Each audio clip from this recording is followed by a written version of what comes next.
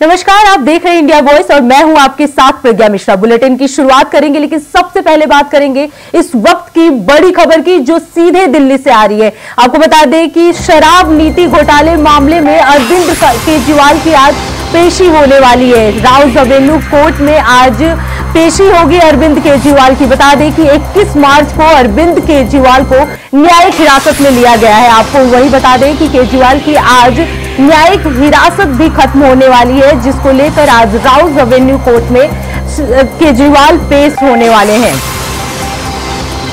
शराब नीति केस में आज केजरीवाल की पेशी होने वाली है। आपको बता दें कि कविता और मनीष सिसोदिया की भी पेशी हो सकती है। वही राउस रेवेन्यू कोर्ट में सीबीआई भी अब पहुँच सकती है। राउस रेवेन्यू कोर्ट में अरविंद केजरीवाल की आज पेशी होने वाली है। 21 मार्च को अरविंद केजरीवाल को हिरासत में लिया गया था। तो ये इस वक्त की बड़ी खबर आपको हम दिल्ली से बता रहे कि केजरीवाल की आज न्यायिक हिरासत खत्म हो रही है, जिसको लेकर आज राउस रेवेन्यू कोर्ट में पेशी होने वाली है। शराब नीति केस में केजरीवाल की हिरासत को चुनौती दिया गया था, जिसको लेकर आज राउस एवेन्यू कोर्ट में पेशी हो सकती है केजरीवाल की।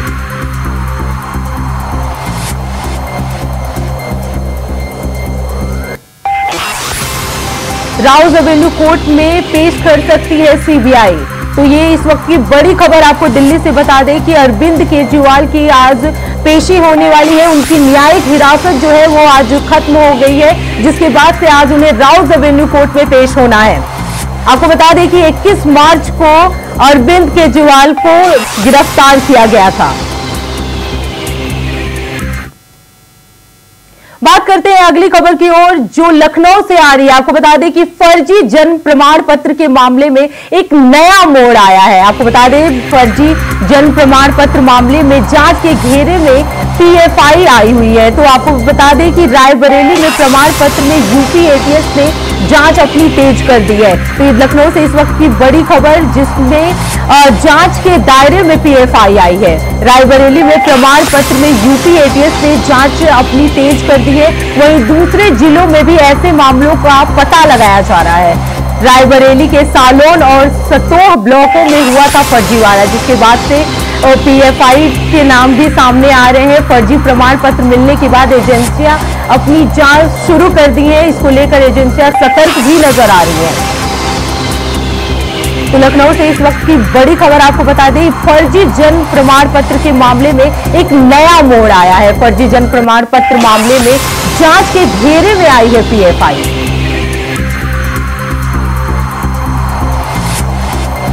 रायबरेली में प्रमाण पत्र में यूपी एटीएस ने अपनी जाँच तेज कर दी है। बताया जा रहा है कि फर्जी प्रमाण पत्र मिलने के बाद एजेंसियाँ भी सतर्क हो गई हैं। वहीं दूसरे जिलों में भी ऐसे मामलों का पता लगाया जा रहा है।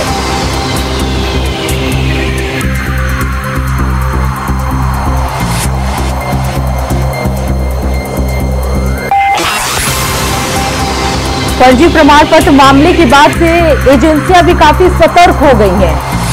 वो लगातार जाँच शुरू कर रही हैं। नया मोड़ आ गया है क्योंकि इसमें पीएफआई का नाम भी सामने आ रहा है।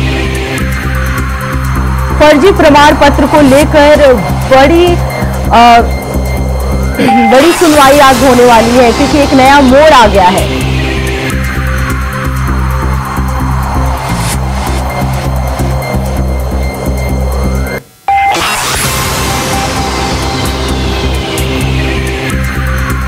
इस खबर पे ज़्यादा जानकारी देने के लिए हमारे साथ राजू तिवारी रायबरेली से जुड़ गए हैं। राजू क्या कुछ जानकारी है? फर्जी प्रमाण पत्र मामले में एक नया मोड़ आया उसको लेकर किस तरह से एजेंसियाँ काम कर रही हैं?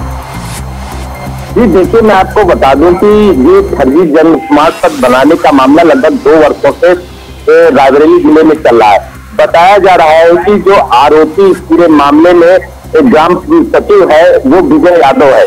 और विजय यादव दो साल से कलोन विकास खंड में तैनात किया गया था और उसी के दौरान उसका जो कनेक्शन था, वो जीसान नाम से जो जनसेवा केंद्र संचालक है, उससे हो गया। तो जीसान के द्वारा ये जन्म प्रमाण पत्र बनाने का सिलसिला दो वर्षों से चल रहा था। हालाँकि इस मामले की पूछता हुई जब कर्नाटक से एक पीएफआई सदस्य, जो जेल में बंद था, उसका वेरिफिकेशन होने के लिए सलोन के एक गाँव पालीपुर आया। बता दें कि पालीपुर ग्राम प्रधान के द्वारा इस पूरे मामले को लेकर स्थानीय विधायक भाजपा के जो अशोक पुरी है, उनसे बताई गई। तो अशोक पुरी के द्वारा पूरे मामले को लेकर यहाँ जिलाधिकारी हर्षिता माथुर और पुलिस अधीक्षक से मिलकर पूरी बात को बताया गया। तत्काल जो है पूरे मामले को लेकर शासन स्तर से जाँच कराई गई और एटीएस यहाँ पर पहुँची। एटीएस के द्वारा जाँच शुरू कर दी गई। लेकिन आपको बता दें कि पूरे मामले में कई मोड़ आए हैं। हालाँकि पूरे मामले में एक मोड़ पहले भी आया जब स्थानीय पुलिस की एक बड़ी चिंता सामने आई क्योंकि स्थानीय पुलिस को एक तहरीर दी गई है ग्राम सचिव की तरफ़ से, जिसमें ग्राम सचिव के द्वारा आरोप लगाया गया है कि मेरी आईडी से लगभग तीस हज़ार जन्म प्रमाण पत्र बनाए गए हैं फर्जी जो गैर प्रांत के हैं। तो उस पर स्थानीय पुलिस के द्वारा, यानी कहा जाए कि सलोन कोतवाल के द्वारा पूरे मामले को गंभीरता से न लेते हुए आरोपी जिसान को मात्र एक सौ इक्यावन में चालान करके छोड़ दिया गया जब इस पूरे मामले की जानकारी स्थानीय विधायक को हुई तो स्थानीय विधायक में रोष उत्पन्न हुआ और तत्काल मुख्यमंत्री और गृह सचिव से मिलकर उन्होंने पूरे मामले की शिकायत की। तो तत्काल एटीएस ने जाँच भी तेज कर दी और पूरे मामले को खंगालना शुरू किया। तो उसी का परिणाम आज ये हुआ कि वो जो कनेक्शन है, वो पीएफआई से है। हालाँकि पूरे मामले में अगर बात की जाए, आरोपी जीतान की तो जीतान इससे पहले अगर ग्राउंड ज़ीरो पर जाकर जब इंडिया वाइस की टीम ने पूरे मामले को खंगाला तो आरोपी जीतान इससे पहले माले गाँव में रहता था।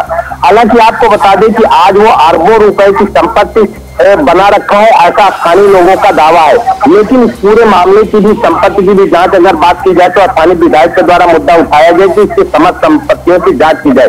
लेकिन बड़ी बात यह है कि सलोन में जिस प्रकार से तीस हज़ार जन्म प्रमाण पत्र बनाए गए हैं पूरी तरह से स्थानीय लोगों के द्वारा वो अलग अलग संगठन चाहे हिंदू संगठन हो या अधिवक्ता संगठन हो, इनके द्वारा अलग अलग मांग की जा रही थी कि कहीं जो है, ये आतंकवादी गतिविधियों से तो नहीं संलिप्त है। तो ऐसे में साफ़ तौर से कहा जा रहा है कि जैसे पहले से आशंका जताई जा रही थी, उसी से ये तार मिल रहे हैं और आरोपी जिसान इससे पहले भी किसी वारदात को अंजाम दे चुका होगा या कहीं विजय यादव के इससे पहले भी कनेक्शन जिसान से तो नहीं रहे, यानी सालों से पहले जब वो छतोर में रहा है और इससे पहले भी जहाँ रहा है तो कहीं उसके कनेक्शन पहले भी तो नहीं थे, जिससे अंदाज़ा लगाया जा सकता है कि एक बड़ी आतंकवादी घुसपैठ की एक नज़र थी जो नाकाम हो गई बात ये है कि ये मामला जो है पिछले दो सालों से चल रहा है लेकिन आज इस पे इतना एक्शन क्यों लिया गया है? क्योंकि ये मामला कोई नॉर्मल मामला तो नहीं है क्योंकि फर्जी प्रमाण पत्र पिछले दो साल से चल रहे थे।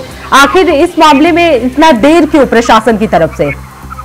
जी देखिए ये साफ़ तौर से कहा जा सकता है कि स्थानीय प्रशासन और जिला प्रशासन की संवेदनहीनता है कि ऐसे लोग पूरे मामले को अंजाम दे रहे थे और स्थानीय प्रशासन को कानो कान खबर नहीं लगी। लेकिन आपको बता दें कि पूरे मामले से पर्दा तब उठता है जब केरल से एक पीएफआई सदस्य का जेल में बंद होना और उसका वेरिफिकेशन रायबरेली ज़िले के सलोर कोतवाली क्षेत्र के अंतर्गत पालीपुर गाँव का निवास प्रमाण पत्र उसका बनाकर इसे आरोपी जिसान के द्वारा दिया गया था। तभी तभी पूरे मामले से पर्दा हटता है और जब पर्दा हटता है तो इस मामले को लेकर जब स्थानीय विधायक और स्थानीय जो अलग अलग सामाजिक संगठन है, उनके द्वारा आवाज़ बुलंद की गई तो एटीएस को जाँच दी गई। और एटीएस के जाँच के बाद ये देखा जा सकता है कि कितना बड़ा मामला है। लेकिन इस पूरे मामले पर अगर देखा जाए तो स्थानीय प्रशासन ने बिल्कुल घोर लापरवाही बरती है। और वहीं अगर पुलिस प्रशासन की बात की जाए यानी सलोन थानेदार की तो सलोन थानेदार का भी कहीं झुलमुल रवैया है तो कहीं ना कहीं पूरे मामले को लेकर स्थानीय संगठन में और स्थानीय लोगों में भी फर्जी प्रमाण पत्र का मामला है और दो साल से चल रहा है। इसमें प्रशासन की लापरवाही बिल्कुल साफ़ दिख रही है। फ़िलहाल इस खबर पर ज़्यादा जानकारी देने के लिए बहुत बहुत धन्यवाद राजू।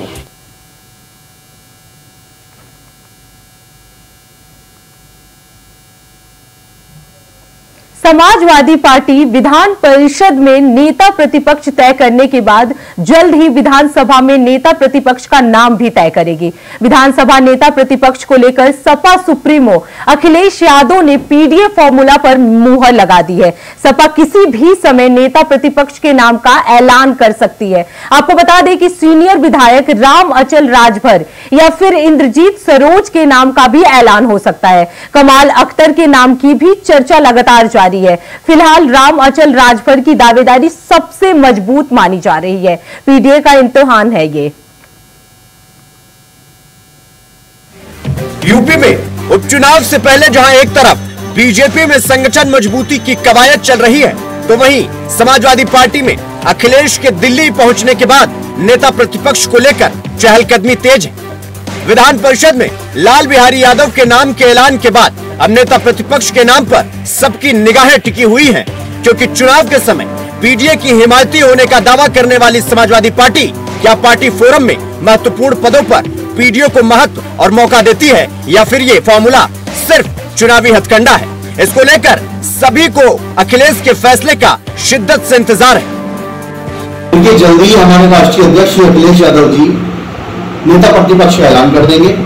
हमारे नेता पीडीए की तर्ज पर होगा, पिछड़ा दलित और अल्पसंख्यक। और वो अगले जो पिछड़े हो गए उनको लेके साथ चलने का हमने वादा किया है, हमने दावा किया और इसको आगे बढ़ाने का हम काम कर रहे हैं। समाजवादी पार्टी आने वाले 2027 के चुनाव में इसी फार्मूले के तहत आगे बढ़ेगी और इस तानाशाही सरकार को उखाड़ फेंकने का काम करेगी।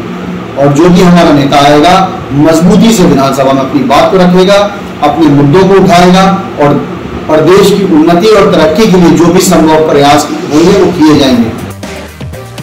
ऐसे में अब विधानसभा में नेता प्रतिपक्ष को लेकर समाजवादी पार्टी का पेट फंसा दिखाई दे रहा है।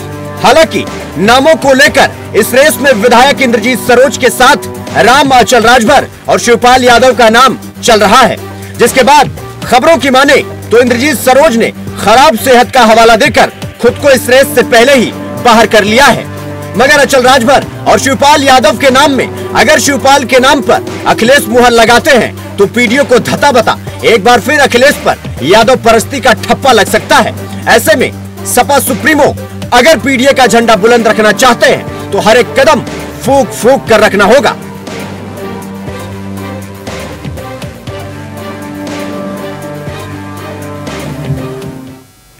मोदी सरकार के 3.0 के पहले बजट के सामने आने के बाद से विपक्ष सरकार पर हमलावर नज़र आ रही है। खास तौर पर सपा सुप्रीमो अखिलेश यादव सीधे तौर पर केंद्र सरकार और यूपी की अनदेखा और भेदभाव का आरोप लगा रहे हैं। अखिलेश का कहना है कि बिहार की बाढ़ का तो सरकार को ख्याल है, पर यूपी की बजट में नाम तक नहीं तय किया गया है, जिसके बाद से लखनऊ से दिल्ली तक नाराज़गी और डबल इंजन के आपस में टकराने की भी बात कही गई है। आइए आपको सुनवाते हैं सियासी बयान। एक तरह से देखा जाए तो उनको मतलब एक तरह से एक झुंझुना और एक लॉलीपॉप देके उनको जो मुख्य जो प्रधानमंत्री जी के सर के ऊपर जो तलवार लटकी हुई है उसको फ़िलहाल टालने के लिए उनको वो दिया गया। तो ये क्या जो ये जो बिहार के लिए जो योजनाएँ हैं या जो भी है तो क्या ये एक मुश्त ये पैसे क्या एक मुश्त में चेक काट के प्रधानमंत्री जी मुख्यमंत्री के हाथ में जा रहे हैं थमाने हैं? आप बताइए बिहार का अपना खुद का बजट ढाई लाख हज़ार करोड़ का होता है। उसमें ये ये ये और योजना, ये तो ऑनगोइंग प्रोसेस है। केंद्र सरकार, ये जो आप, जो इन्होंने योजनाएँ, जो इन्होंने घोषित की है, और कहीं ना कहीं मुझे लग रहा है कि मतलब किसी भी वर्ग के लिए इसमें मिडिल क्लास के लिए कुछ नहीं है, युवाओं के लिए कुछ नहीं एम्प्लॉयमेंट पे कोई बात नहीं की गई है। कहीं ना कहीं कॉपी पेस्ट और रीपैकेजिंग इसको कर दी गई है। अब उसमें देखना होगा, बहुत सारी योजनाएँ जो इन्होंने घोषणा की है इसमें, वो तो ऑन अभी पिछली भी चल रही है उसमें। बस उसको रीपैकेजिंग करके उनको प्रस्तुत किया गया है। बजट से कुछ भी नहीं मिला, और तोड़ दो घंटे के भाषण में राजस्थान का नाम भी नहीं लिया। और इस बजट से जो उम्मीद थी देश के नौजवानों को, किसानों को, वो हताशा लगी, बढ़ती महँगाई, पेट्रोल, डीजल की बढ़ती दरें, और ओपीएस जो ओल्ड पेंशन स्कीम है, इसको लागू इनको करना चाहिए था। और जिस तरह किसानों की आय दुगनी करने की बात की, उसका ज़िक्र इस बजट के अंदर नहीं है। और जिन जिन प्रदेशों के अंदर चुनाव भारतीय जनता पार्टी हारी है। राजस्थान, पंजाब, हरियाणा, उत्तर प्रदेश, इनके साथ सोतेला व्यवहार किया, जिनको विशेष पैकेज दिया। हम उनका विरोध नहीं कर रहे, लेकिन हमें भी विशेष पैकेज इनको देना चाहिए था। हफ़्ते में ये सरकार बचाओ बजट है, जहाँ पे सिर्फ़ अपने आंध्र प्रदेश और बिहार के जो ये लंगड़ी सरकार, जिनके सहारे खड़ी है, उनको सेटिस्फाई करने के लिए ये बजट पेश हुआ है। बाकी तो जैसे कोई एग्जिस्ट ही नहीं करता। अब आपने बाढ़ के लिए देखा कि दूसरे राज्यों को दिया गया, जहाँ पंजाब में एक साल में दो दो बाढ़ आए हैं तो उनके बारे कुछ नहीं किसानी आंदोलन इतना बड़ा चल रहा है, उनको उठाया गया, वादे किए गए, आज किसान इतने तकलीफ़ में है, तब भी उनके बारे में भी कुछ भी नहीं, ना युवा के बारे में, ना मजदूर के बारे में और पंजाब के तो पिछले छह बजट से पंजाब का नाम तक नहीं लिया गया। मेरा ख्याल जो लोग पंजाब के दूसरी पार्टी छोड़ के भाजपा में शामिल हुए हैं कि पंजाब के मसले हल करेंगे। अब उनको जवाब देना चाहिए कि कौन सा मसला हल हो रहा है। सात बजट छह बजट से पंजाब का नाम तक नहीं लिया गया। क्या पंजाब के पैसे सेंट्रल पूल में नहीं जाते हैं? तो ये बिल्कुल भेदभाव है और ये सरकार बजाओ बजट था। बजट में तो भेदभाव नहीं हुआ है। मैं उसके बारे आपके साथ कुछ आप, कुछ फैक्ट्स आपके सामने रखना चाहूँगा। और ये इन्होंने पहले भी किया है। मुझे याद है कि पिछले साल मई 27 को 27 मई 2023 को आठ ऑपोजिशन के chief ministers Kejriwal ji Mamata Banerjee M K Stalin ji इन्होंने नीति आयोग की जो मीटिंग हो रही थी अ, विकसित भारत एट 2047 उसको बाइकआउट किया था। और 2022 में Trinamool Congress TRS Shiv Sena NCP BSP Samajwadi party Telugu Desam Seoni Akali Dal और लेफ़्ट पार्टीज़ ने एक स्पीकर साहब ने मीटिंग बुलाई थी, उसको उन्होंने बाइकआउट किया। बात करते हैं अगली खबर की। नीट यूजी 2024 परीक्षा को लेकर सुप्रीम कोर्ट के फैसले पर बीजेपी सांसद रविशंकर प्रसाद का बयान सामने आया है, जिसमें उन्होंने कहा है कि सुप्रीम कोर्ट ने अब दोबारा परीक्षा कराने की कोई आवश्यकता नहीं है। इस बात पे अपना फैसला सुनाया है, क्योंकि इसके कारण बहुत समस्या उत्पन्न होगी। बच्चों का सेशन गड़बड़ होगा, जिन्होंने ईमानदारी से परीक्षा दी है, उनका भविष्य भी अंधकार में जाएगा। जो एससी एसटी और ओबीसी रिजर्वेशन के बच्चे हैं, उन्हें परेशानी होगी। इसलिए कोर्ट ने कहा है कि हम परीक्षा कैंसिल नहीं करेंगे। सुनिए और क्या कुछ कहा। देश के सामने कुछ तथ्यों को रखना ज़रूरी है। लगभग साढ़े तेईस लाख बच्चों ने नीट की परीक्षा में आवेदन दिया था और बैठे थे। 23.5 lakh students took part in the neat examination of 2024 ye examination 571 cities में 4,750 सेंटर्स पे हुआ था। This examination was conducted in about 571 cities at 4,750 centres खुद सरकार की ओर से सीबीआई इंक्वायरी दे दी गई थी। सीबीआई की ओर से आरंभिक अपने इन्वेस्टिगेशन में बताया गया कि हजारीबाग और पटना और एक आध जगह और मिलाकर करके 155 कैंडिडेट के बारे में शिकायत आई है। और 155 उम्मीदवारों का कैंडिडेचर कैंसिल कर दिया गया है।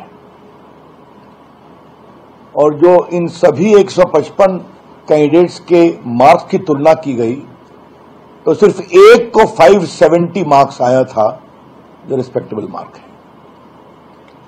सुप्रीम कोर्ट ने 22, 23 और 24 के एग्जामिनेशन के सारे रिजल्ट्स को एग्जामिन भी किया और ये पाया कि कोई इसमें एनॉमली एक्स्ट्रॉर्डनरी नहीं पाई गई।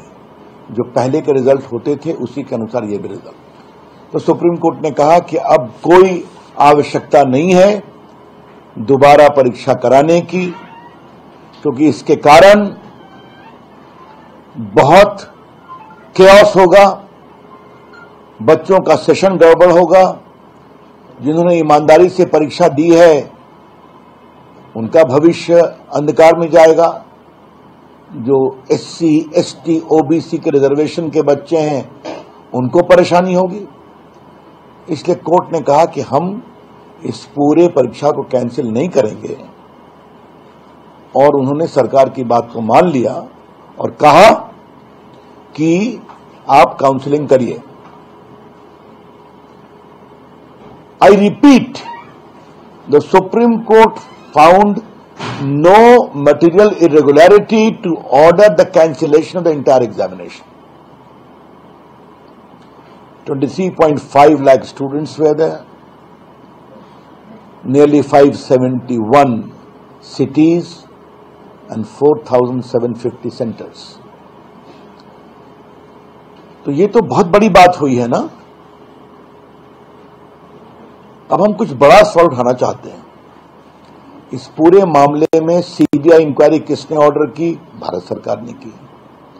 ईमानदारी से जाँच हो रही है, किसके प्रयास से हो रही है? भारत सरकार के प्रयास से हो रही है और सीबीआई ईमानदारी से जाँच कर रही है।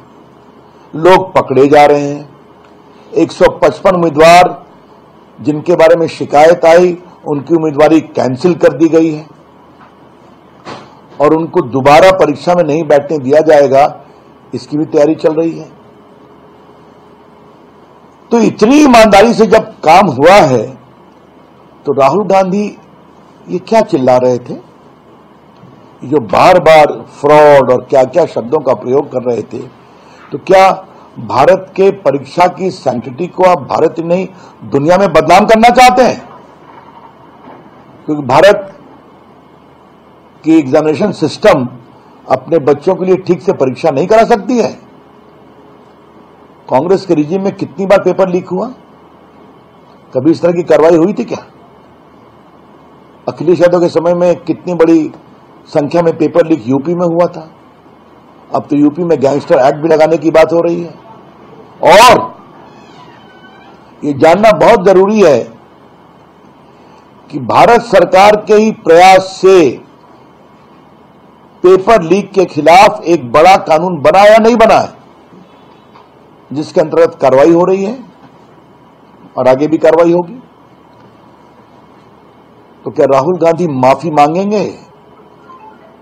In the wake of the conclusive finding of the supreme court no material देश के सामने कुछ तक फ़िलहाल इस बुलेटिन में इतना ही। देश दुनिया की तमाम बड़ी खबरों के लिए देखते रहिए इंडिया वॉइस। तब तक के लिए नमस्कार।